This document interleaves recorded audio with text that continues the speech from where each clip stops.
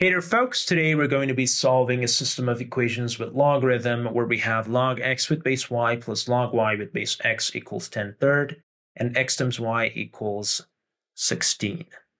So I'll be presenting two methods and now let's go ahead and talk about the first method. So in the first method, let's go ahead and start working on the second equation, which is x times y equals 16. Notice that 16 is 2 to the fourth, and the base of this exponent is 2. So let's go ahead and take the log of both sides with base 2 to get log of x times y with base 2 equals log of 2 to the fourth with base 2. Next, let's go ahead and use the product rule on the left-hand side to have a sum of two logs. And then by using the power rule, we can go ahead and take this power and bring it in front and use it as the coefficient of log. So we're going to have 4 times log 2 with base 2, and log 2 with base 2 is 1, so we have 4 on the right-hand side, and this is what we have as the sum of two logs. So let's keep it in mind, and now let's go ahead and talk about the first equation.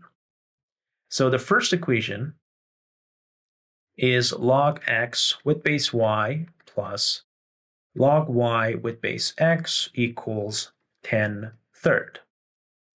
Next, let's go ahead and use the change of base formula and change the bases to 2.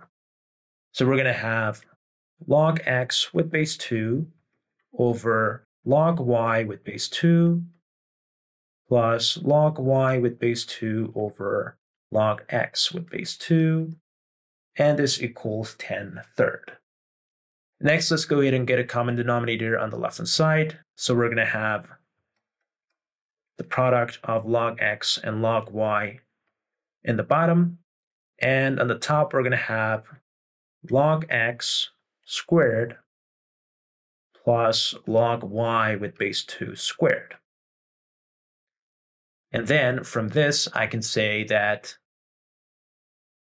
log x with base 2 squared plus log y with base 2 squared equals 10 third times the product of log x and log y. Now notice that we have a sum of two squares on the left hand side. So let's go ahead and add 2 times log x with base 2 times log y with base 2 to both sides to complete the square on the left hand side.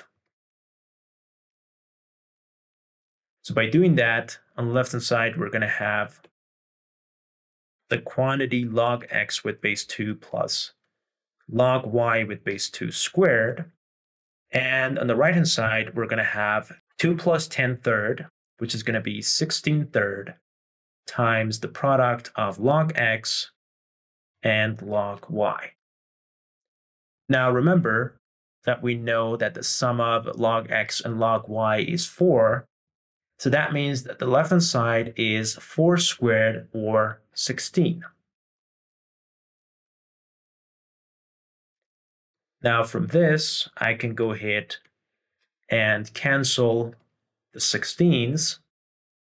And we're going to have log x with base 2 times log y with base 2 equals 3.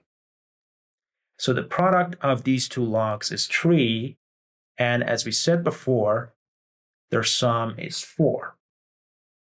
So we can say that one of them has to be 1 and the other one has to be 3. So we have two cases.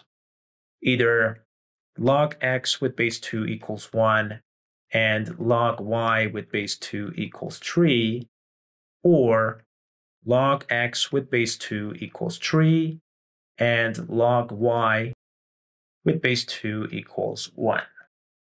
So we have two cases. This is the first case, and this is the second case. And now let's go ahead and try to solve for x and y in the first case.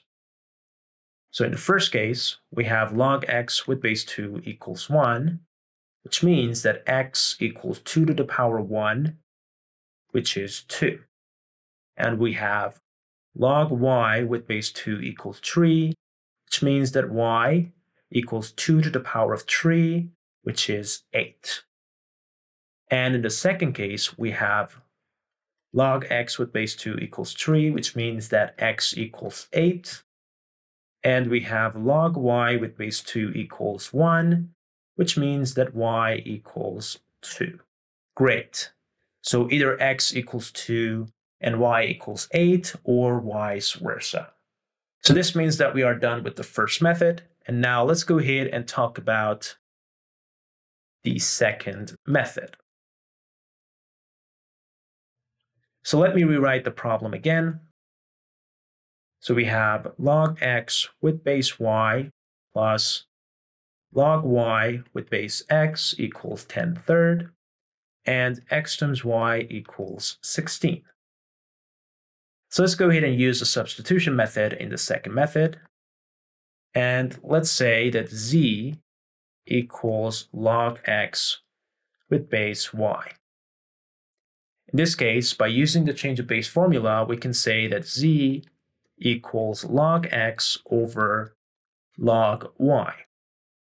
And that means that the reciprocal of z is equal to log y over log x.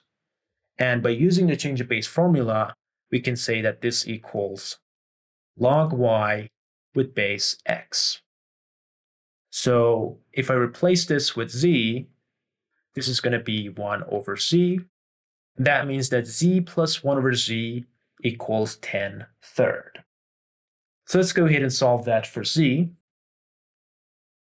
So we have z plus 1 over z equals 10 third. So first of all, let's go ahead and multiply everything by z to get a quadratic equation. And then to get rid of this 3 in the bottom, let's go ahead and multiply everything by 3 to get 3z squared plus 3 equals 10z.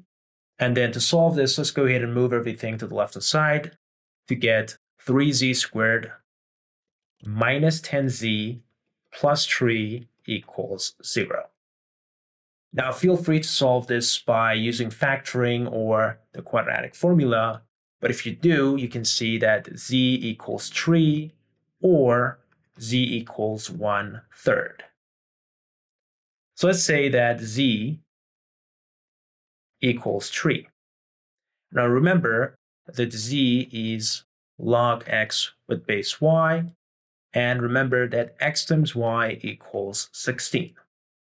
So from this, I can say that log x with base y equals 3, which means that x equals y cubed. Now, since I want to use the value of x times y, let's go ahead and multiply both sides by y to get x times y equals y to the power of 4. Now notice that x times y is 16, so we have 16 equals y to the power of 4.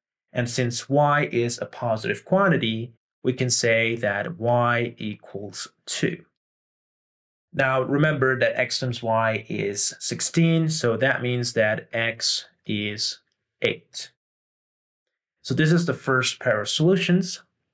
And now let's go ahead and talk about the second value of z. So if z equals one third, we're going to have log x with base y equals one third, which means that x equals y to the power of one third.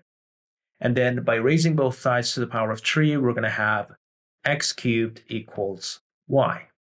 Again, to use the value of x times y, let's go ahead and multiply both sides by x to get x to the fourth equals x times y, which is equal to 16. And since x is a positive quantity, I can say that x equals 2, and therefore y equals 8. Great. So this brings us to the end of this video. Thank you for watching this video. Please consider subscribing for more contents like this, and hit the like button if you enjoyed watching this. Hopefully I will see you later. Goodbye for now.